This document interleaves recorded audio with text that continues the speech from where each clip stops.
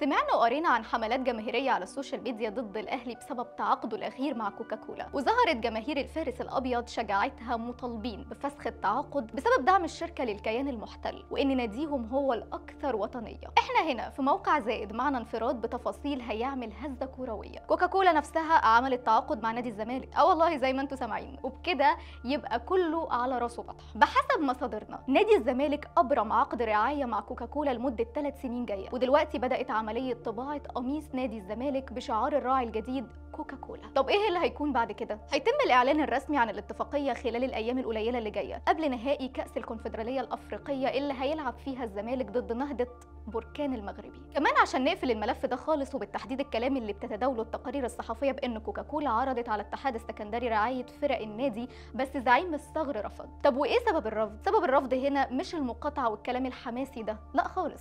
السبب الحقيقي إن كوكاكولا ما قدمتش عرض مالي كويس يرضي مجلس إدارة النادي السكندري.